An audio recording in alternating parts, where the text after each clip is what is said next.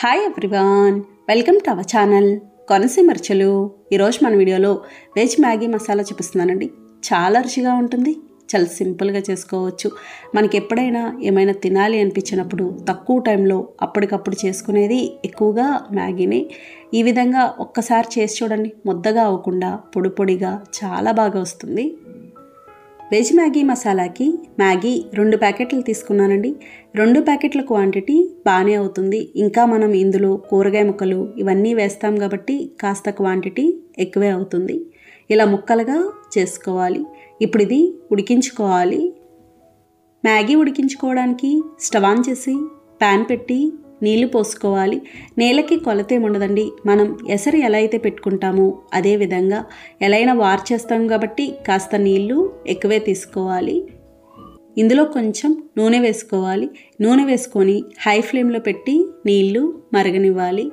ఇలా నూనె వేయడం వల్ల అంటుకోకుండా ఉంటుందండి. మనం మామూలు నూడిల్స్ ఎలా అయితే ఉడికించి చేస్తామో ఆ విధంగా చేస్తే ఈ మ్యాగీ కూడా చాలా బాగుంటుంది. చూడండి నీళ్ళు ఇలా మరిగినాయి కదా? ఇలా మరిగాక హై ఫ్లేమ్లోనే ఉంచి మ్యాగీ వేసి ఉడికించుకోవాలి. మంట మాత్రం తగ్గించకూడదు. ఇది చాలా త్వరగా ఉడుకుతుందండి. రెండు నిమిషాలు టైం కూడా పట్టదు. ఈ విధంగా గరిటతో కలుపుకోవాలి. అంటుకోకుండా ఉంటుంది. చూడండి ఇది ఇలా బాగా ఉడికింది కదా. ఇంకా చూస్తే కొంచెం పలుకులా ఉన్నట్టే ఉంటుంది. అలా ఉండగానే మనం స్టవ్ ఆఫ్ చేసుకోవాలి. ఆ వేడికే మగ్గిపోతుంది. స్టవ్ ఆఫ్ చేసుకొని ఇలాంటి స్ట్రైనర్లో కానీ చిల్లుల గిన్నెలోకి కానీ తీసుకొని వార్చుకోవాలి.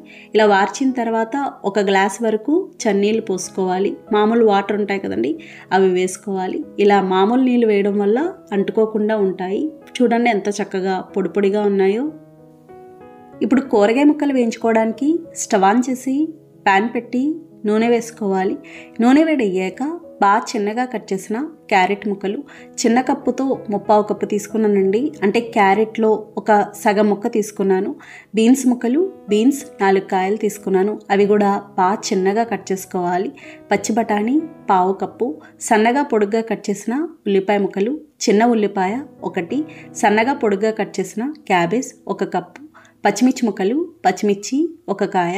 ఇలా ఇవన్నీ వేసుకొని కూరగాయ ముక్కలు హై ఫ్లేమ్లో వేయించుకోవాలి. ఇవి మరీ ఎక్కువ కూడా వేగాల్సిన అవసరం ఉండదు. త్వరగానే మెత్తబడిపోతాయి.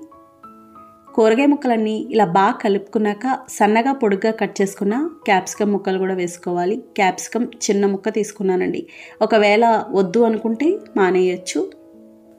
ఒకవేళ మీకు కూరగాయ ముక్కలు అన్ని రకాలు వద్దు అనుకుంటే మీరు పచ్చిమిర్చి ఉల్లిపాయతో మాత్రమే కూడా చేసుకోవచ్చు.